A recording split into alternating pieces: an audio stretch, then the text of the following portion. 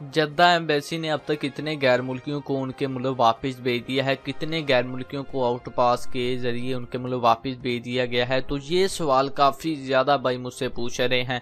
تو اس کا میں نے سوچا کہ آپ کو آج کی اس ویڈیو میں جواب دے دوں کہ جو یہ ایک مہینہ ہو چکا ہے، ایک مہینے سے زیادہ ٹائم ہو چکا ہے کہ آؤٹ پاس شروع ہوا ہے۔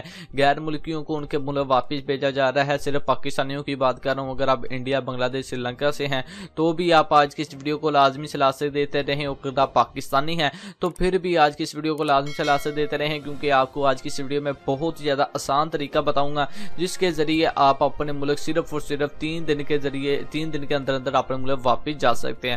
بہت ہی مناسب طریقے سے آپ اپنے ملک واپس جا سکتے ہیں، آپ کو کوئی پریشانی نہیں ہوگی۔ باقی سب سے پہلے ہم بات کرتے ہیں جو کہ یہ آؤٹ پاس سروے شروع ہوئی تھی جدہ میں۔ تو اب تک کتنے غیر ملکیوں کو آؤٹ پاس کے وجہ پر ان کے ملک واپس بھیج دیا گیا ہے؟ تو دوستو، کافی زیادہ ایسے لوگ ہیں جو کہ ویڈیو بنا رہے ہیں کہ آؤٹ پاس شروع ہوا ہے، آپ وہاں پر جائیں، یہ کریں، وہ کریں۔ تو پہلے نمبر پر بات یہ ہے کہ وہاں پر چیکنگ بہت ہی زیادہ سخت ہوتی ہے، ٹھیک ہے۔ تو وہ آپ کو آؤٹ پاس نہیں دیتے، وہ آپ کا ڈریس وغیرہ لے لیتے ہیں یا پھر آپ کو موقع پر پکڑ لیتے ہیں۔ تو جتنے بھی لوگوں کو سعودی عرب کی پولیس نے پکڑا ہے، وہ ابھی تک بھی سعودی عرب کی جیلوں میں دکے کار کھا رہے ہیں۔ انہیں سعودی عرب سے پاکستان یا انڈیا ان کے ملک واپس نہیں بھیجا گیا۔ جی ہاں اگر ان کا ایک کام ایکسپائر بھی ہے تو پھر بھی انہیں ان کے ملک واپس نہیں بھیجا گیا، انہیں ڈپورٹ نہیں کیا ابھی تک، ٹھیک ہے؟ ابھی تک کوئی بھی غیر ملکی کو ڈپورٹ نہیں کیا گیا۔ جتنے بھی غیر ملکی اریسٹ ہوئے ہیں، ٹھیک ہے، جن کا ایک کام ایکسپائر تھا، حروب لگا تھا، کوئی اور مسئلہ مسائل تھا، وہ ابھی تک بھی سعودی عرب کی جیلوں میں دکے کھا رہے ہیں۔ اور جو لوگ آپ کو کہہ رہے ہیں کہ آؤٹ پاس سروس شروع ہوئی ہے، آپ جا کر آؤٹ پاس کے ویزے پر اپنے ملک واپس جا سکتے ہیں۔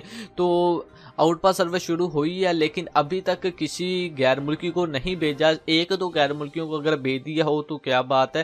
لیکن ہزاروں کی تعداد میں غیر ملکی ہیں، تو پاکستانی ایمبیسی کتنے غیر ملکیوں کو پاکستان واپس بھیجے گی؟ تو اب ہم بات کرتے ہیں ان غیر ملکیوں کی جو انڈیا انڈیا، بنگلہ دیش، نیپال یا دوسرے ملک سے ہیں۔ تو اگر آپ اپنے ملک واپس جانا چاہتے ہیں یا پھر پاکستانی بھائی بھی اگر اپنے ملک واپس جانا چاہتے ہیں، تو سکرین پر آپ کو ایک نمبر شو ہو رہا ہوگا۔ اس نمبر پر آپ کانٹیکٹ کر کر صرف اور صرف تین دن کے اندر اندر اپنے ملک واپس جا سکتے ہیں۔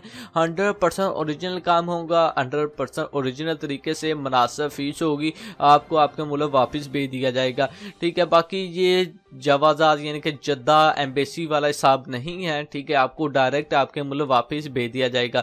اگر آپ جدہ ایمبیسی کے ذریعے جاتے ہیں تو وہ آپ کو یعنی کہ جیل میں ڈال دیں گے اور پھر اللہ مالک ہے کہ آپ کتنی دیر جیل میں رہیں گے۔ لیکن اگر آپ سکرین پر دیے ہوئے نمبر پر کانٹیکٹ کر کر اپنے ملک واپس جاتے ہیں تو صرف اور صرف تین دن کے اندر اندر ہنڈریڈ پرسینٹ گارنٹی کے ساتھ آپ کو آپ کے ملک واپس بھیج دیا جائے گا۔ تو دوستو، یہ تھی آج کی ویڈیو۔ امید کرتا ہوں کہ آپ کو آج کی یہ ویڈیو پسند آئی ہوگی۔ ویڈیو اچھی لگے تو چینل کو لازمی سے سبسکرائب کریں، ساتھ ہی بیل آئیکن کون کریں۔ تو ملتے ہیں کسی نیکسٹ ویڈیو میں، اپنا خیال رکھیں، مجھے دعاؤں میں یاد رکھیے گا۔ اللہ حافظ۔